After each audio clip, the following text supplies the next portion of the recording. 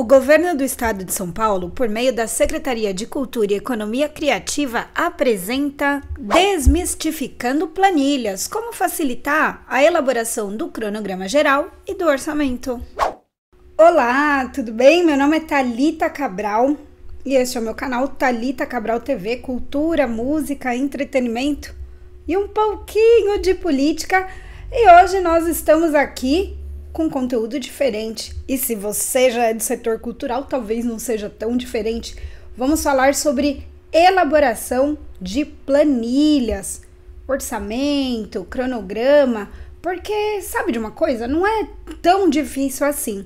Então, se você tem alguma dificuldade ou, enfim, é, quer algumas dicas, fica aí com a gente, porque vamos ter essa, essa videoaula, este curso online aqui, esta videoaula uh, hiper acessível. Vamos ter tudo ilustrado ali para você ver direitinho. E aí, se você puder deixar um like, eu agradeço. Compartilha com mais pessoas, né? Às vezes tanta gente pode ter uma dúvida aí, querer algumas dicas e não tem, né? Ai, onde que eu vou? Vou fazer aula de computação, já foi o tempo, não é verdade? Então compartilha aí o vídeo, Fica à vontade para deixar seu like, considere se inscrever no canal. Esse edital aqui, ele foi feito através do PROAC 39, certo? Da Secretaria de Economia Criativa aqui do estado de São Paulo, Secretaria da Cultura, certo? Também. Então vamos que vamos, espero que ajude e agradeço se você puder deixar o like, compartilhar e qualquer dúvida que tiver, comenta aqui embaixo, tá bom? Que eu respondo depois. Vamos lá, bora para as planilhas. Quando o fazedor, fazedora de cultura, se depara com a temida etapa de confecção de planilhas, algumas ferramentas facilitadoras vão muito bem. Vamos começar então pelo login. Você tem conta Google já? Então vamos lá para o Google e vamos começar o passo a passo. E por que, que eu indico o Google para você ir no Google? Obviamente que se você já tiver experiência com o Google Planilhas, né? Você já sabe onde você vai direi direto. Mas se você está chegando agora aí nesse universo das ferramentas Google que dominaram tudo, não é verdade? É legal se familiarizar, sabe? Porque a partir da página inicial aqui do Google, tem esses quadradinhos aqui, né? O menu, e aqui vai ter todo tipo de ferramenta, aplicativo que você pode vir a usar, tá? No caso, tem também o documentos, eu uso bastante, né? Uh, o e-mail, enfim, o drive que compila todos os seus documentos, mas aqui a gente vai vir para cá, planilhas. Então, pegou a visão aí, ó. Entrou aqui, vai, você vai digitar google.com, né? Vai nas bolinhas aqui do menu e entra em planilhas, tá bom? E aí já vai abrir diretamente as planilhas. Eu já loguei aqui, beleza? Eu já tenho meu login. Se você não tiver, você faz uma conta. Então você vai criar um e-mail com uma senha que você lembre depois, porque é importante isso. E é bacana porque se você de repente é, pô, deu um problema com o computador, isso fica armazenado nesse seu e-mail. Então, eu particularmente sempre indico que as pessoas usem isso, porque às vezes usar a planilha que vem no Excel ou enfim, diretamente do seu computador, se der algum problema, você perde o arquivo, não tem como recuperar, né? Então vamos aqui para o Google e aqui a gente vai ter, é, vamos, vamos uh, passo a passo, beleza? Reconhecendo funções iniciais, os primeiros passos aqui no Google Planilhas. Então, estamos aqui no Google Planilhas, né? Vamos reconhecer. Então, sempre, né? Isso é um padrão do Google e de diversos também sites. Você vai encontrar um menu, né? Que é onde você tem acesso a algumas ferramentas ali. Então, a gente tem aqui, ó, Google Planilhas, ele vai te dar a opção de planilhas, documento, apresentação ou formulários. A gente vai ficar nos, nas planilhas mesmo, não precisamos alterar nada. Com, é, configurações, a questão de idioma, né, e tudo mais, não, não tem muita uh, relevância. Essa conta aqui como vocês podem ver, ela não tem nada, então a gente vai fazer duas planilhas do zero aí, tá bem? E aí você também pode, se você quiser, ah, eu precisava de uma coisa, quero fazer um calendário. Vão ter alguns alguns modelos pré-definidos, o que é ótimo. Então, você pode ver aqui, ó, lista de tarefas, então vai para uso pessoal, seria orçamento mensal, essas coisas, jogador, roteiro de casamento, é, aí também tem coisas que você pode usar no campo profissional, né? Então, fatura, orçamento empresarial e tudo mais, turno dos funcionários, gerenciamento de projetos aqui também tem alguns que ajudam no, nas etapas, né? E de educação, por exemplo, ó, presença, controle de tarefas, né? Então você consegue é, ter aí algumas opções na sua galeria de modelos. Mas a gente não vai usar nada disso agora, então vamos voltando, voltando. Nós vamos abrir do zero. Então, quando você tiver as planilhas, você vai sempre ver aqui, ó, pertencem a qualquer pessoa, pertencem a mim, não pertencem a mim. Ou seja, se alguém compartilhar algo com você, vai vir para cá, não pertencem a mim. E se alguém compartilhar, vai aparecer aqui, né? Qualquer pessoa. Mas eu, eu indico você usar esse filtro, porque se você quiser diretamente, né, ir para um documento que alguém compartilhou e você tiver um monte de coisa, vai aparecer é, conforme o filtro, coisas que você mesmo criou, né? Ou coisas que compartilharam. Porque quando tem muitos muitas planilhas, no caso, pode ficar meio confuso, né? Então, eu indico usar o filtro, vai aparecer também os últimos que você abriu. Aqui a gente tem as formas de visualização, né? E se você quer classificar por nome, por data de criação, e você também consegue criar pastas, né? É, seletor de arquivos aqui, então dá para criar pastas. E aí a gente vai vir aqui, né? Em branco, uma nova planilha. Olha lá. Então, aqui nessa planilha, gente, eu vou falar uma coisa que parece besteira, mas acredite, depois você se arrepende se não faz. Já chega colocando o número, né? Então, o nome, aliás, já edite o nome, tá bem? Porque aí você não tem perigo de perder. E se ela for uma coisa muito importante, usa aqui a estrelinha, né? Que vai salvar. E aí você vai ver, ó, alterações salvas no Drive. Então, vai ficar tanto no Drive do Google, que seria como se fosse o Explorer, né? Que a gente entra aqui para ver as pastas e tudo mais. É isso, só que do Google. Então, se você tem planilha, documento escrito, é, apresentação, né? Vai tudo ficar no Drive, você acha lá e também acha diretamente no Planilhas, que é onde a gente estava agora há pouco, né? Então a gente tem uma visualização bem parecida com o Excel, né? Que eu falo Excel, mas enfim, se você tiver aí nos Mac da vida, é a mesma pegada, né? Então você vai ter a opção de novo, né? Uma tem galeria de modelos. Uh, você pode compartilhar com outras pessoas. Se você quiser, você pode fazer uma cópia dessa mesma planilha, fazer o download. Isso aqui é muito importante, tá, gente? Fazer a cópia. Porque às vezes a gente se mata fazendo tudo do zero e não precisa. Você vai lá, pum, faz a cópia, altera coisas é, desde fonte até os dados internos, e você não precisa fazer tudo do zero se você trabalha sempre com o mesmo modelo de planilhas, né? E aí vai ter então e-mail, né? Enviar por e-mail diretamente daqui, pelo seu Gmail, que se você não tinha, foi criado. E se você já tinha, é o que você usou para fazer o login da sua conta, né? Uh, e aí você pode fazer o download em Excel. Então dá para você usar essa planilha no Excel né? Uh, você também consegue é, fazer em ponto .ods, em PDF. PDF é o que a gente mais usa, porque aí ele fica um arquivo fechado que ninguém mexe, né? Em página e também em é, valores, somente uh, os dados mesmo, né?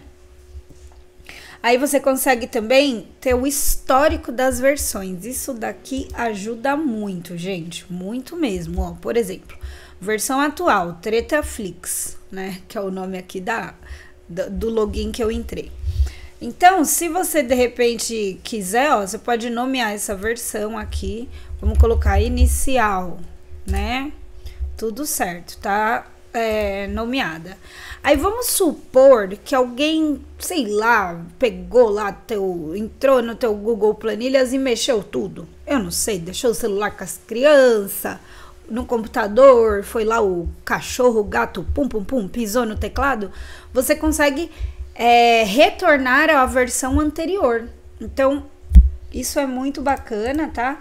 E eu uso muito. E você pode tanto vir aqui pelo arquivo, né?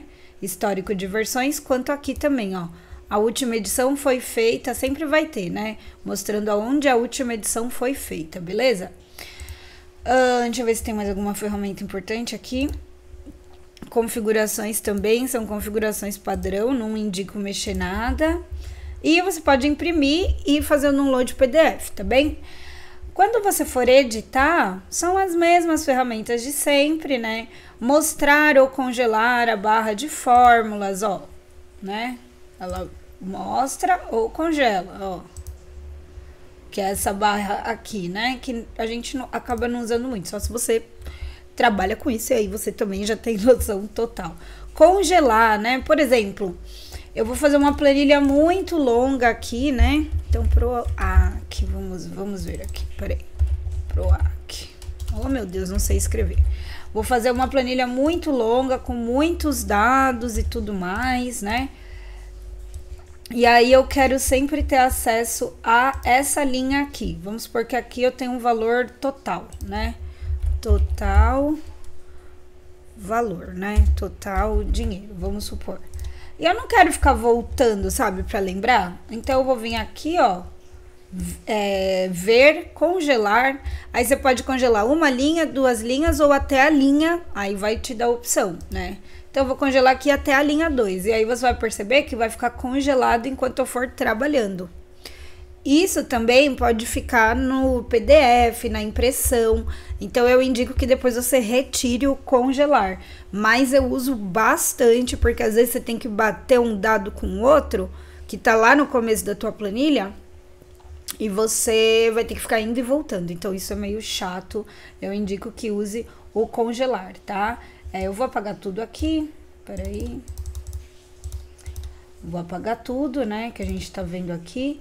Aí, grupo seria, né? Algumas ferramentas que a gente também não usa muito. O zoom eu vou aumentar aqui para vocês verem bem legal, né? Mas também tem o zoom aqui, ó. Essa ferramenta aqui, do pincelzinho, é de formatação. Aí, formatar, que seria o tema, que a gente deixa a formatação lá pro fim o tipo de número, né? Se você quer um número um, com, com vírgulas, é, moeda, horário, data, tudo aqui você consegue pôr, tá, gente? Tudo mesmo, né? Um, aqui a gente tem algumas coisas que você consegue classificar, ou seja, se você já tiver umas. Você tem palavras ali colocadas, né? Então, é gato, cachorro, é microfone, microfone, tigela, é, macarrão. Totalmente aleatório, né? Você vem aqui, seleciona, ou seja, você pode fazer assim, ó, pegar as, é, você vai apertar Shift e vai segurar o que você quer selecionar, né? Então eu peguei o gato aqui, Shift e fui até as palavras que eu quero selecionar. Eu venho aqui e ponho na, na questão de classificar pela coluna de A a Z, ele vai colocar em ordem alfabética, por exemplo. Tá? Então, cachorro, gato, macarrão, microfone, tigela. Então, essa classificação é muito boa também, né? Quando a gente não quer, quando tem muita coisa que você precisa pôr ou em ordem alfabética ou ordem numérica, você vai poder usar aqui A a Z ou Z a A, que ele também entende isso quando é uma questão numérica, beleza? Uh, temos aqui Uh, deixa-me ver, deixa-me ver. É, aqui são coisas mais complexas, né? Que não tem muita necessidade de a gente falar agora. Aí a direção dos textos, né? Aqui são formatações mesmo. Mesclar células, depois eu vou colocar. E é isso. Por enquanto, é isso que interessa pra gente, tá bem? Então, inicialmente. Aqui a gente vai ter também formatar como moeda, né? As casas decimais, certo? Uh, a cor da borda, que é uma barra rápida, né, de acesso. Então, tudo que tem aqui dentro desse menu, que a gente acabou de entrar, né, por aqui, né, também algumas dessas ferramentas, elas estão disponíveis diretamente aqui, beleza? Vamos continuar que tem mais coisa. Conte uma história com a sua planilha para facilitar quando for inserir os dados. Então, vamos lá. Por que contar uma história, né? Conte uma história com a sua planilha. Porque se você for uma pessoa igual a mim, que não é muito boa dos cálculos lógicos, vamos dizer assim, aliás, matemáticos e sim mais lógicos, você vai se guiar pensando assim: o que, que eu preciso saber, como se eu fosse contar uma história num texto. Então, eu preciso saber é, da descrição, né, do que eu vou gastar. Estamos aqui falando da planilha orçamentária, beleza? Então, descri descrição da despesa, né? A quantidade, né? Quantidade de vezes que você vai é, ter essa despesa. Também o valor unitário, né? Por despesa aí. O tipo da despesa é, a, o documento que você comprova o, a utilização do dinheiro, né? E por fim, aqui o valor total, ok? O valor total. Então vamos lá, descrição. Vamos supor que eu vou fazer uma circulação e eu quero fazer aqui algumas é, rubricas, né? Algumas linhas para dizer o que, que eu vou gastar. Então, eu vou gastar com cantor, vamos supor, é, Aí eu tenho guitarra e eu tenho bateria, tá? Bateria, bateria. Seria baterista, né? Cantor, guitarrista, baterista. Aí eu também tenho transporte. Opa, gente, não tô sabendo escrever. Transporte. Tenho também alimentação. E vamos supor que eu vou comprar um gravador é, com os recursos também, tá? Lembrando que isso aqui vale tanto para uma planilha que você vai enviar para um projeto, né, para ele ser aprovado ou não, como também depois para você fazer o controle de orçamento do projeto se for aprovado, tá? Então vamos supor aqui que o cantor ele vai ter o cachê dele de mil reais, o guitarrista também mil reais, baterista também, todo mundo ganhando bem, o transporte é, opa, desculpa, aqui eu tô errado. Então quantidade de vezes, né? É, vai ser, vão ser três shows. Então, três shows, três, três. Aí vão ser três transportes também, né? Três vezes que eu vou utilizar o transporte, três vezes que eu vou fazer o camarim e o gravador é um só. O valor unitário, vamos colocar mil reais de cachê aqui, mil reais, mil reais. Vamos colocar de transporte para cada vez, vamos colocar 150 reais. Alimentação, vamos pôr 100 reais no camarim. E o gravador, vamos supor que são 2.400 reais. Vamos supor, tá? O tipo, o tipo do, da despesa é um cachê? Então vamos pôr cachê, cachê, e ele já vai me sugerindo a escrita. Transporte, frete, né? Pode ser Uber, pode ser uma van, né? Depende do que você combinar. Alimentação, vamos colocar camarim, item, né? Itens, certo? E o gravador é um item, né? Um produto, certo? Não é um serviço, né? Você vai especificar se é um serviço, se é um produto. O documento que eu vou utilizar para comprovação é a nota fiscal. Então, eu tô contando aqui uma história, sabe? Olha, eu vou usar uma nota fiscal, né?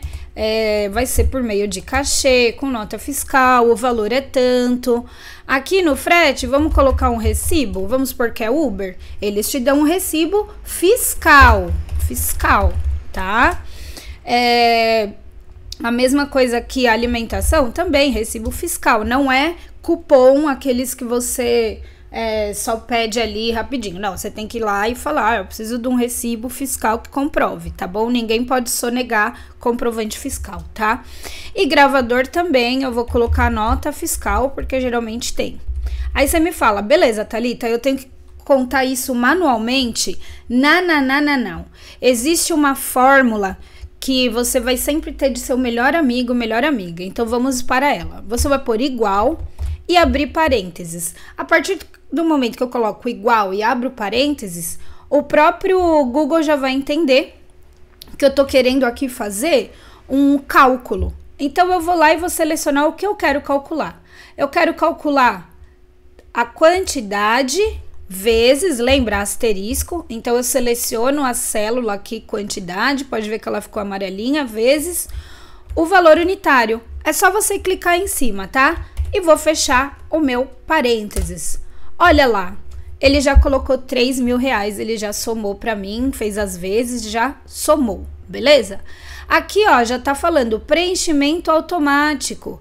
Então, você clica aqui, ó, ele já vai preencher, aceita, ele preenche com a mesma fórmula, só que com as linhas diferentes, ou seja, para cada linha eu vou ter um valor, só que a fórmula é a mesma. Ah, mas eu comi bola, não vi isso, não tem problema. Fez a primeira fórmula? Vem no quadradinho azul que tem, ó, vai ficar assim, uma setinha, a sua tela, né? E arrasta até a célula que você quiser. Olha lá, ele automaticamente já vai fazer as contas e você não precisa fazer uma a uma. Aí você quer saber o total de tudo. Não tem problema. Vamos lá para a segunda fórmula mais utilizada na vida. Igual soma, ele já está até me sugerindo que seria a razão, né? Então, tudo que está entre a primeira aqui do cantor, a primeira linha aqui, 3 mil reais, e essa linha aqui do gravador. Então, tudo que tá entre essas linhas, ele vai somar. Se eu colocar mais coisa, ele também vai somar. Então, entre, ele já está me sugerindo, é só, é, tá falando aqui, ó, soma F3 F18, que são as células. Eu vou, para eu aceitar, é só usar tab. Então, eu vou de tab aqui, ó. Pum, é uma tecla que está no canto esquerdo do seu teclado. Pronto, ele já somou tudo, tá vendo? Olha que belezinha, né? Então aqui você contou a história orçamentária da sua planilha e no caso do seu projeto. Agora a gente vai deixar ela bonitinha, eu venho aqui em formatar. Eu gosto muito de cores alternadas, né? Porque já vai me dar uma visualização melhor e já vai ter totalmente aí é, já vai ser automático isso. Eu vou pôr um amarelinho aqui para ficar bonitinho. Vou selecionar também o que eu quero formatar, né? Não selecione a mais ou a menos, selecione exatamente as células que tem os dados. Venho aqui nesse quadradinho, ó, que tá aqui em cima, ele chama bordas. Você passa o mouse e ele já vai falar para você, bordas. Vou escolher aqui, ó, bordas externas, fiz, e agora também bordas internas. E pronto. Temos aqui uma planilha de orçamento. Lembrando que se você clicar na célula, qualquer célula, você pode inserir uma coluna acima, uma linha acima, uma coluna à esquerda, né? Então eu quero pôr mais uma informação, insira uma coluna aqui. Ah, eu lembrei que vai ter é, figurino, por exemplo, figurino. Lembrei depois. Então essa quantidade vão ser quantos? Três, que são três pessoas na banda? Três. Para cada um, eu vou colocar aqui um orçamento de 250 reais. Vamos colocar. Aqui é o que? É item? Item, item, né? Item, nota fiscal. E aqui, ó, eu vou pegar a fórmula de cima, arrasto para esse aqui. Arrasto para essa célula que tá vazia. E ele já vai entender. E aqui embaixo já alterou também, tá vendo, ó? Tava 1.250 no total embaixo, ele já entendeu, automatizou, tá? E a última coisa é você selecionar aqui, ó, os números que são em moeda. E eu já tenho aqui mesmo nessa barra, né, abaixo do arquivo, um RS, R cifrão. Então, formatar como moeda. Já formato e ele já entendeu que o número que eu multipliquei também é moeda. Belezura? Tranquilo, né? Vamos agora para cronograma? Bora, bora para o cronograma, minha gente. Indo para o cronograma agora, né? Você pode perceber que aqui, ai, eu eu confundi aqui. Peraí, gente, deixa eu apagar aqui uma.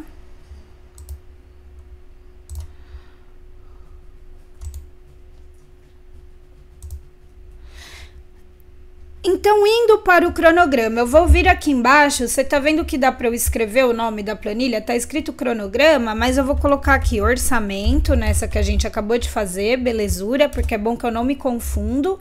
E vou colocar adicionar página. Tem um mais aqui do lado esquerdo no canto. E eu já vou vir aqui renomear. Vou colocar cronograma, tá? E agora a gente vai contar a história do tempo que eu vou utilizar, né? Então, nessas horas você tem que pensar o que, que vai em linha e o que, que vai em coluna. Então, em coluna, você vai. Coluna é reto, né, gente? Vertical. Você vai falar quantos meses você vai é, fazer tal tarefa, ou enfim. Então, vamos colocar mês 1. Se eu colocar mês 1 e arrastar para o lado direito, ele já vai entender que eu vou falar mês 1, mês 2, mês 3, mês 4. Tá vendo? E aqui eu vou colocar as etapas do meu projeto. Então, por exemplo, é, pré-produção, visita técnica, é, divulgação, uh, prestação de contas, que você também vai fazer, prestação parcial, uh, ensaio, tá? Ensaios uh, apresentações, finalização, é, apresentações e prestação final. Beleza. Ai, tá meio desalinhado aqui, o parcial ficou fora da linha, não tem problema. Eu tô falando aqui da coluna A, certo? Você vem entre a coluna A e a coluna B, você vai ver que a setinha vai ficar dividida, né? Clica duas vezes que ela já alinha o, espaço certinho. Pronto. Aqui tá muito grande, né? Esses meses aqui, tá muito grande. Então, seleciona aqui pelo A, B, C, né? Pelas colunas. Você vai selecionar a primeira que você quer alterar, vai apertar Shift e vai até a última que você quer alterar. Quero alterar essas aqui, vou diminuir bem, até ficar bem rente ao nome, né, do mês ali. Eu também vou pegar e vou diminuir aqui as letras para ficar uma visualização melhor. Tá em 10, eu vou colocar em 8. E vou diminuir mais ainda aqui um pouquinho para ficar melhor, beleza? Ok, sem problema. Nessa daqui, minha gente, eu já vou começar pelas cores alternadas. Já vou formatar. Então, vamos lá. Formatar, cores alternadas, amarelinho para combinar com o outro. E tá tudo certo certo? Uh, esse amarelo aqui, eu vou utilizar ele para eu poder dizer para quem tá lendo em que mês aquilo vai acontecer. Então vamos lá. Ó, gente, imagine que é quem está lendo a sua planilha. Olha, leitor da minha planilha. A pré-produção, ela vai iniciar no mês 1 do meu projeto. Vou colocar aqui, ó, amarelinho, né? Que já tem aqui padrão, ele já vai me sugerir a cor do tema, então você clica nesse baldinho de água, que ele vai colorir só o quadradinho, só aquela célula. Então, pré-produção vai ficar no mês 1. A visita técnica também vai ficar no mês 1. A divulgação a gente vai começar no mês 2, só que ela vai durar o mês 2. É, você copia e cola que ele vai copiar e colar a cor, tá? Ctrl C, Ctrl V. Mês 3 também vai divulgar, mês 4, tá bem? Já a prestação eu vou fazer no meio do meu projeto, a prestação de contas parcial, então mês 3. Os ensaios, senhor leitor ou senhora leitora, a gente vai fazer todos os meses até o show. Então, mês 2, mês 3, mês 4. Tô copiando e colando, né? Porque eu já copiei e colei uma, uma célula quadrada, é, colorida. Só estou Ctrl V para as outras, tá? Mês 5, as apresentações a gente vai fazer no último mês, belezura? E a prestação final no mês 6. Pronto, tenho aqui já à disposição. Vamos vir aqui em bordas. Preencheu. Olha que belezinha. Então aqui nós temos já a nossa planilha organizada, beleza? Ah, mas e agora, Talita, como que eu faço para fazer um download? Você vem em arquivo, fazer download, vamos pôr em PDF, aí ele vai te dar algumas opções, ó. Página atual, você quer só essa página? Você quer só essa página? Aí você também tem aqui embaixo, ó, formatação. Eu sugiro tirar tire a seleção de mostrar linhas de grade, porque aí as grades invisíveis, as linhas invisíveis não vão mostrar, tá? É, vamos selecionar então a página atual, ou então você vem aqui em pasta de trabalho. Aí lembra que eu falei que é bom colocar o nome embaixo da de cada né, planilha que você for fazendo? Coloca o nome no canto inferior esquerdo, né? Então eu tenho aqui que pasta? Eu tenho a de orçamento e a do cronograma. Se eu quiser só a do orçamento, ó, seleciono e vai vir só a do orçamento. Se eu quiser pasta de trabalho, só o cronograma, seleciono e vai vir só o cronograma, tá bem? E aí você vai lá exportar e ele vai salvar diretamente no seu documento aí no seu computador, tá bem? Ou celular, onde você estiver fazendo. E você também pode, se quiser, vem compartilhar com outras pessoas, né? Arquivo, compartilhar, compartilhar com outras pessoas. Você pode copiar um link, né? Só pessoas com acesso podem abrir. Você pode mudar aqui para qualquer pessoa com link. Ou, como eu prefiro, você adiciona aqui um e-mail. Então, contato produtora produtora Cabral, que é meu e-mail, arroba gmail.com. Você vai lá, ó lá, selecionou, vai aparecer. Você pode deixar a pessoa como leitora apenas, ela só pode ver. Comentar, aí ela pode ver e adicionar comentários. Ou editor, que aí pode ver, adicionar comentários, fazer download, compartilhar. Aí depende de você o quão, é, entre aspas, né? algo de sua propriedade intelectual e tal, às vezes você não quer que ninguém edite, faça cópia, você deixa só como leitor. Agora, se você está trabalhando em equipe, mais pessoas vão ter que editar as coisas, aí tu deixa como editor, beleza? Se você quiser mandar uma notificação no e-mail da pessoa, seleciona notificar, escreve aqui alguma mensagem, né? Se não, tira a seleção, enviou, a pessoa vai receber no e-mail dela sua planilha. Tá vendo? Não é tão difícil, minha gente. E eu espero que isso tenha ajudado vocês. Revisão, confira sempre para não gerar retrabalho. Confira tudo depois, tá bem? Sempre, sempre. E sobre a formatação, deixa para o fim, né? As fontes e tudo mais. Sempre observe para quem você vai mandar para ser uma coisa formal ou mais informal, beleza? É isso, espero que tenha gostado, que tenha ajudado aí, né, a de repente, é o que eu falei, dicas, né, gente? Às vezes a gente acaba fazendo um retrabalho ou comendo bola ali no meio do percurso somente por ter uma confusão ali seja de dispor as coisas, né? Então é isso, conte uma história com a sua planilha. Se você for uma pessoa igual a mim, principalmente que tem algumas dificuldades com as exatas, mas na questão de lógica a gente consegue é, direcionar melhor, né? Quando a gente pensa em contar uma história. E eu uso esse artifício porque realmente eu sou bem melhor na parte das escritas e tudo mais, e ruim, ruinzinha de tudo com os negócios numéricos. Então aqui é para também desmistificar isso, né? Porque às vezes não é porque a gente tem uma, uma, é, uma, uma certa dificuldade com algum tipo de área que a gente não pode tentar adaptar nosso olhar para aquilo para, vamos dizer assim, driblar, entendeu? Nossa dificuldade. É isso, espero que eu tenha ajudado. Muito obrigado a todos e todas. Compartilhem, por favor, deixem um like e eu espero que ajude muito a gente aí do setor cultural, a importância também, né, dos editais públicos, a importância dos incentivos, né, diretamente na mão da classe trabalhadora, sem intermediação. Então vem aí também Lei Aldir Blanc, Lei Paulo Gustavo, e nós, é, lei já foi promulgada, né, mas vai vir bastante coisa, então fiquem de olho, vamos que vamos, eu sou produtora cultural, sou cantora, então, meus contatos estão aqui na descrição. No YouTube aqui você acha na aba sobre, também na capa do vídeo, tem lá minhas redes sociais. Fica à vontade para seguir também. E muito obrigada, valeu e deixa o like aí fazendo favor. É nóis! Esse projeto foi realizado através do edital PROAC do Governo do Estado de São Paulo por meio da Secretaria de Cultura e Economia Criativa, produtora Cabral.